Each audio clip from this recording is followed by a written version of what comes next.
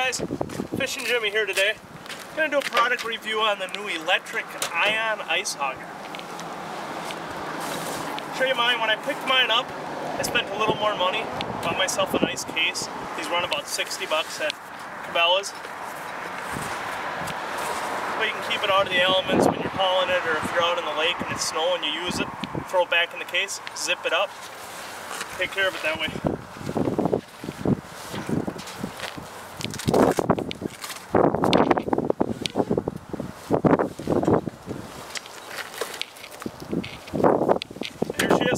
get down on the ice, I'll talk a little about, about more about it down there, and we'll go from there.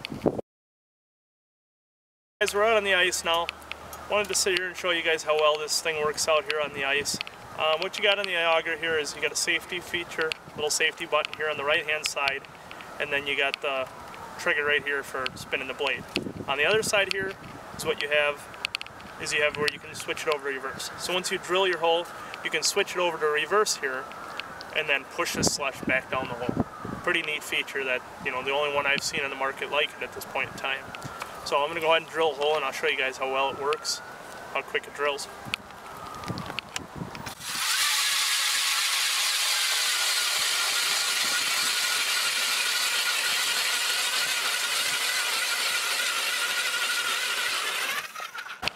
Alright, so once you get through like that, you just depress on the other button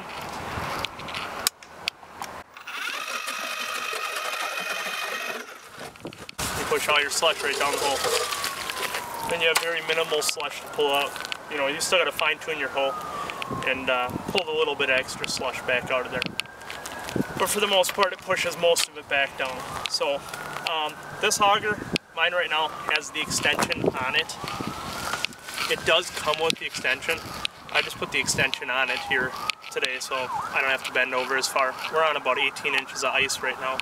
So it just makes it so you don't have to bend over further. And then once you do get fishing, you know, up north, once you get three solid feet of ice, you got no problem with the extension. So go ahead and pop a couple more holes here and show you guys how well it works.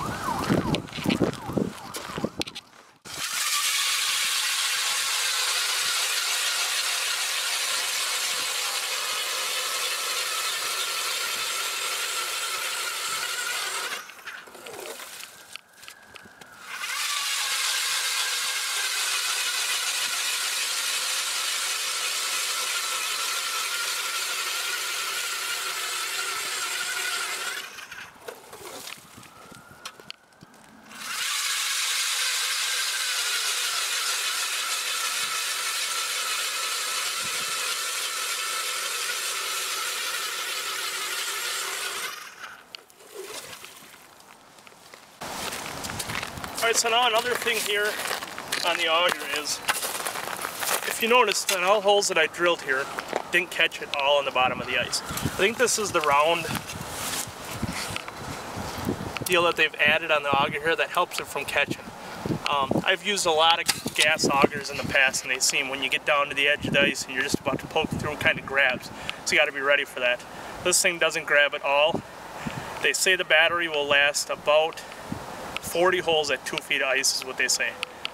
I just used it this time. Uh, this is my fourth time out with it. I haven't charged the thing. I've put, punched uh, 30 holes now. And it just went, it's got a little indicator here. And uh, it has three bars in the light here. And it just went down one light. So it's still well over half battery. Punched 30 holes in 18 inches ice. So that's my review on it. I give it five stars. Absolutely love this thing. I'd uh, recommend you get out and try one if you can. Never, if you ever got the chance to try one sometime, try one. Otherwise, just go out and purchase one. Follow me on uh, Instagram, Facebook. I'll have more videos to come in the future here on YouTube.